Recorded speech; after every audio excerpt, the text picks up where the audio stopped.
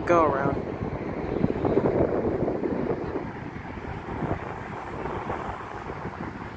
So Southwest Airlines 737. Can't tell what variant, but it looks like an 800.